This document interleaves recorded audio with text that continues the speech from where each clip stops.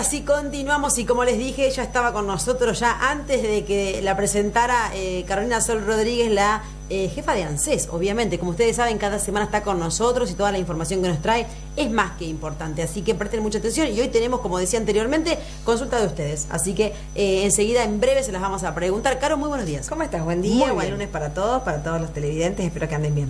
Bueno, muy bien. Vamos a arrancar, como siempre decimos, con pensionados y jubilados, sí, que ustedes saben que son nuestro eje principal. Bueno, ¿en qué instancia estamos ahora? eh, tenés una buena noticia, además, ¿no es cierto? ¿Hay algunas buenas noticias? Sí, la verdad. Vimos ahí posteo en Facebook. Tuvimos un, eh, eh, comenzamos eh, bien el fin de mes entregando las jubilaciones nuevas, más de 50 jubilaciones nuevas llegaron a nuestra ciudad con el plan de pago previsional. Así que bueno, contentas por, por eso.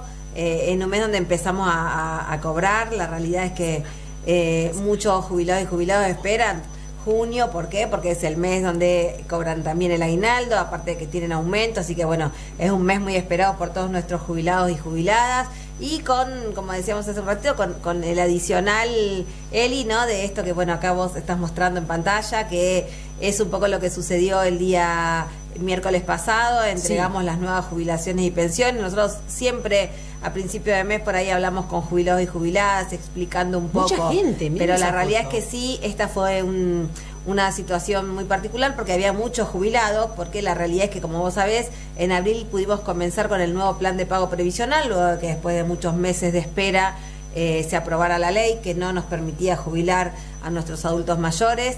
Y entonces en abril fue un mes de mucho trabajo de jubilaciones porque hacía muchos meses que veníamos retrasados, si se quiere, no poder iniciar jubilaciones todos esos meses se condensaron en el mes de abril y mayo, entonces todos los días, como nunca, teníamos más de 10, 12 personas que iniciaban su jubilación.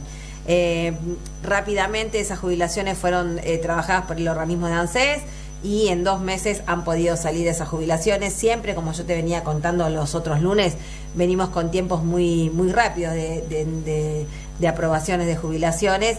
Bueno, en esta oportunidad, como la mayoría de las personas que se, se acercan a jubilarse no tienen muchos años de aporte para computar, lo que hicieron fue aceptar un plan de pago, son de las más rápidas también que salen, ¿no? Porque no hay mucho que verificar, porque no tienen sus años de aporte. La mayoría los compran con esta moratoria que la van a pagar durante 10 años de su jubilación. Mira, me das el pie justamente para hacerte la consulta, porque tengo una consulta de una vecina de nuestra ciudad que, bueno, que justamente habla de esto, ¿no es cierto?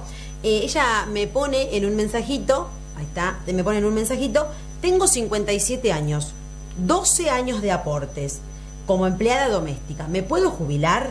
Me trabaja desde los 15, bueno, lo que siempre hablamos, trabaja desde los 15, pero solo tiene 12. Solo tiene 12. Porque el resto no le aportaron sus, eh, sus empleadores, lo que hablamos siempre. Trabajo desde los 15, dice, pero años atrás las domésticas no teníamos beneficios. Así que bueno, 12 años de aporte. Con estos 12 años de aporte y con esta moratoria, ¿ella puede jubilarse? No con 57 años de edad, porque ah, todavía no llega a los 60 años. Bien. Recuerden siempre que la moratoria actual no cambia las condiciones de tener la edad jubilatoria, ¿sí? Hay una edad jubilatoria para los hombres que es de 65 y para las mujeres que es de 60. Entonces, lo que hace la moratoria, este plan de pago previsional, es poder tener, si tenés los 60 años y no llegas a tener 30 años de aportes, comprar esos años que te faltan y pagarlos a través de una moratoria que se paga dentro de la misma jubilación que vos recibís. Pero tenés que tener sí o sí la edad. Mira, justo venía en la calle y venía también, alguien me consultó, un vecino muy querido me consultó porque su mamá eh, tenía la misma duda. Claro. Y la realidad es que no se puede, no se puede si no tenés la edad. ¿eh? Esta moratoria para lo que sirve, entre comillas, es para aquellas personas que tienen la edad, o sea, no adelanta la, la edad jubilatoria. Para los que tienen 60 años, lo que pueden hacer es venir a hacer el trámite, jubilarse y pagar aquellos años que le faltan. En este caso, a la señora, nuestra vecina, le faltaban 18 años, si tiene 12, efectivamente, le van a faltar 18 años.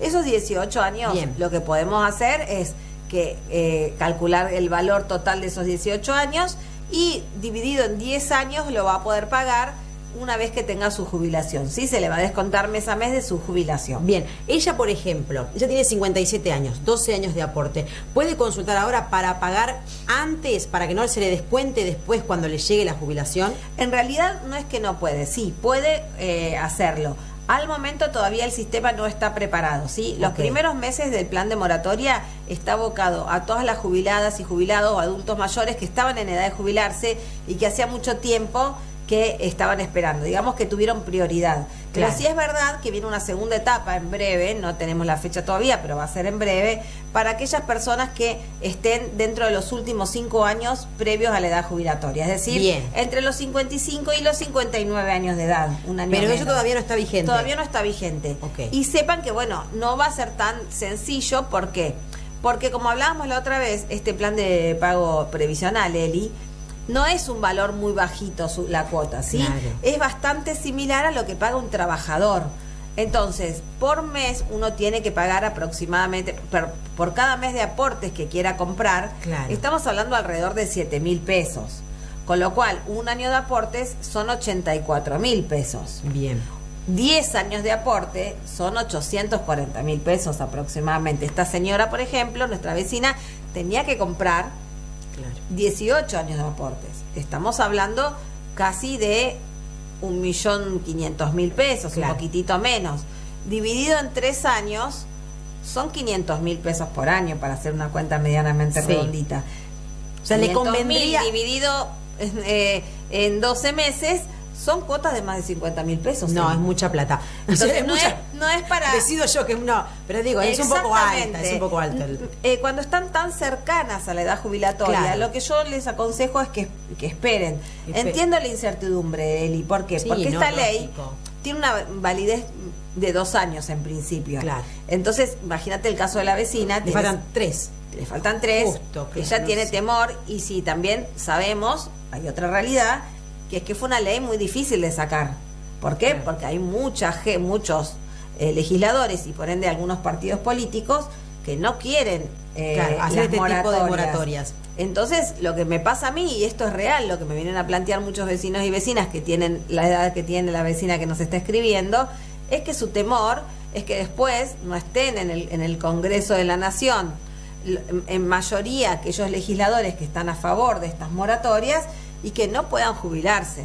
Entonces, no es que no entendemos su temor, ¿sí? Claro. Ahora, la realidad es que este plan de pago es un plan de pago que verdaderamente eh, lo que busca es cobrar y, y que, que el Estado eh, cobre esos aportes que lamentablemente a, a nuestros vecinos no, no les Claro. han hecho y no tiene un valor muy bajo, digamos, Claro. ¿no? Sí, justamente, mira, ella me está escribiendo actualmente y me dice, bueno, es imposible pagar eso para mí, además estoy ahora sin trabajo. Imagínense que lamentablemente tenemos que decir que tenemos un país que una mujer con 57 años es verdad que no consigue trabajo. Por supuesto. Es verdad que no, no consigue trabajo.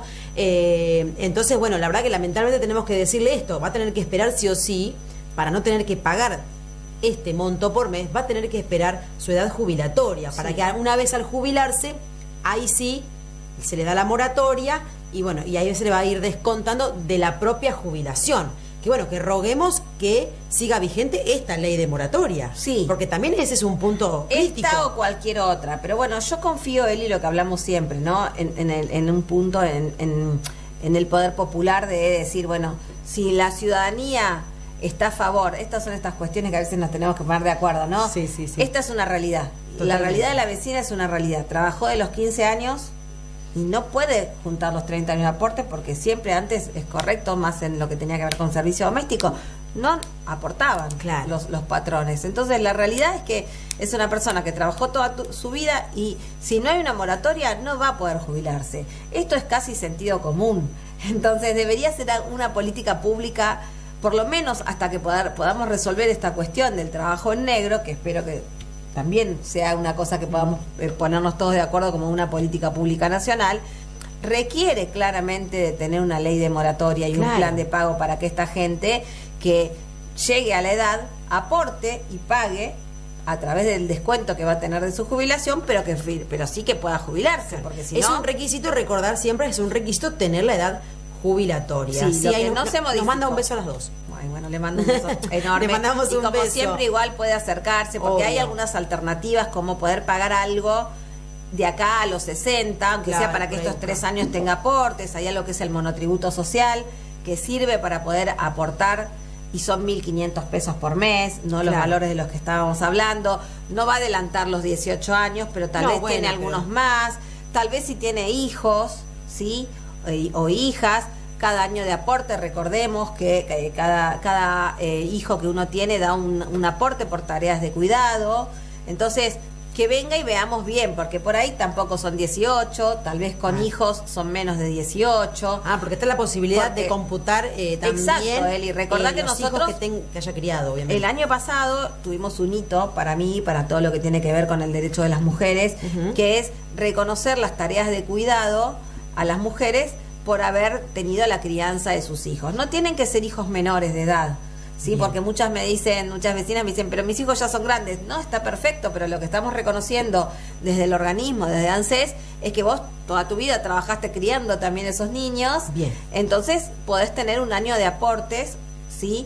Por cada hijo que tenés. Perfecto. Entonces, ahí por ahí, aparte de sus 12 años de aportes como servicio doméstico, o como trabajadora tiene, más hijos porque tiene hijos y tal vez si de acá a, a, a sus 60 años puede pagar un monotributo social, que son 1.500 pesos, tal vez tiene tres años más. Bien. Que se acerque. Por eso yo siempre digo que más allá de estas cuestiones generales, importante que vengan. Nosotros revisamos caso por caso y vemos cuál es el escenario mejor para poder llegar de la mejor manera posible. Exacto. Bueno, tengo otra consulta.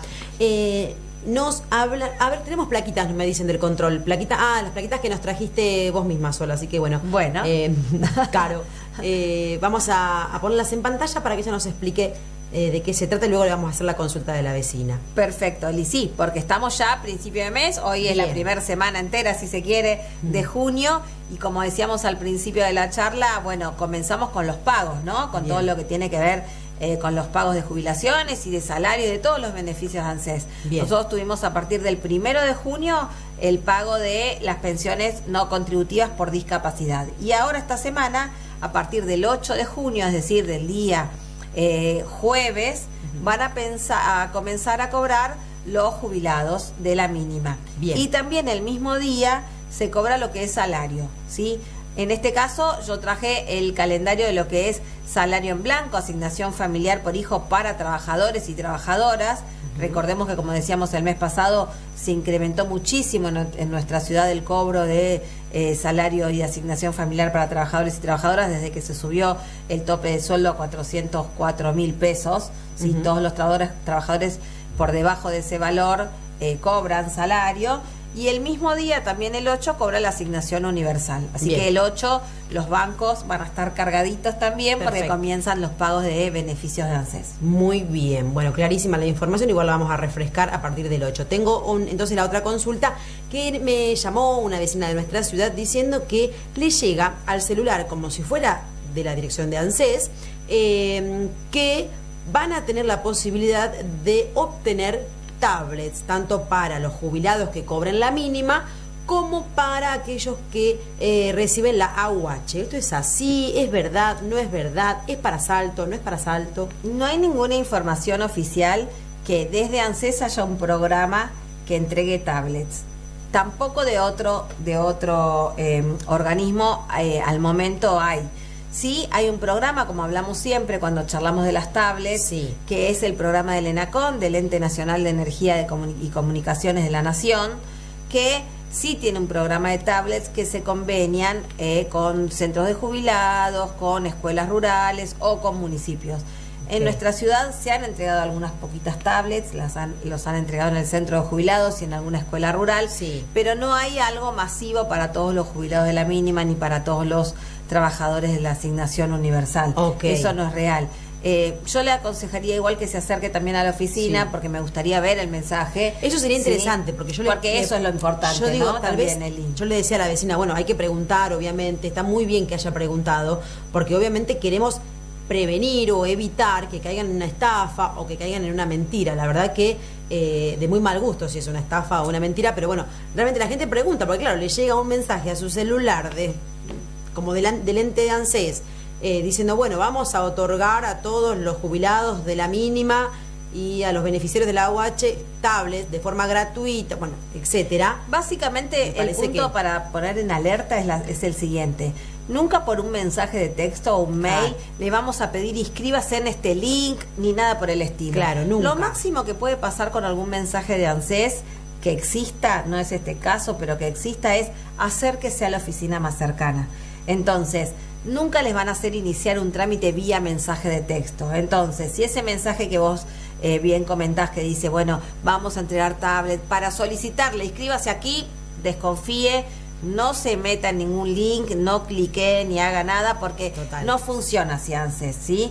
ANSES, todos los beneficios, sobre todo para lo que es jubilados y pensionados, suelen ser automáticos. Nosotros tenemos todos los datos necesarios como para poder saber quién es jubilado de la mínima y entregarle o no una tablet. No requerimos ni siquiera que la soliciten, ¿sí? Y de solicitarse siempre utilizamos el método presencial porque es el más seguro para nuestros jubilados y jubiladas, con lo cual nadie les va a pedir que a través de un link o llamen a tal teléfono, eso no, no sucede, no es la forma de comunicación y es lo que les puede dar a ustedes la alerta también, ¿no? El alerta ese de decir, mm, acá hay algo raro, bien la vecina que igual siempre está alerta y la, cuestión es acérquense porque también a mí me sirve para denunciar ese número telefónico, para avisarle a otros vecinos y vecinas, ¿sí? No es que no exista la tablet porque ustedes si entran a la página de ANSES van a ver que dicen que a través del ENACOM hay un, hay un beneficio para jubilados y jubiladas, pero no en nuestra ciudad, no al menos en forma masiva, ¿sí? Puede haber hecho el ENACOM algún convenio sin ANSES con, ya les digo, alguna escuela rural o pueden haberlo acercado así un poco de manera muy, muy puntualizada y, no, no masiva. Claro, sí, son, como bien dice Caro, sí son para un eh, público específico, como por ejemplo una escuela o como ha sucedido también en otros momentos, pero para un grupo reducido eh, y no es el ente ANSES que, que, que hace este tipo de convenios, por lo menos no por el momento. Así que bueno, tengan en cuenta que eh, siempre es preferible, como bien hizo esta señora, eh, preguntar, averiguar y asegurarse y no den ningún dato antes eh, Sobre todo de preguntar. Sí, antes de preguntar, por favor, no, den ningún dato. Exacto. Bueno, Caro, muchísimas gracias. No, por favor, nos vemos el mes que viene. Dale, nos vemos la próxima semana. Nosotros vamos rapidito a titulares, porque obviamente también tenemos información a través de los medios nacionales, así que, y volvemos con más, con más pronóstico y con los últimos minutos del Noti.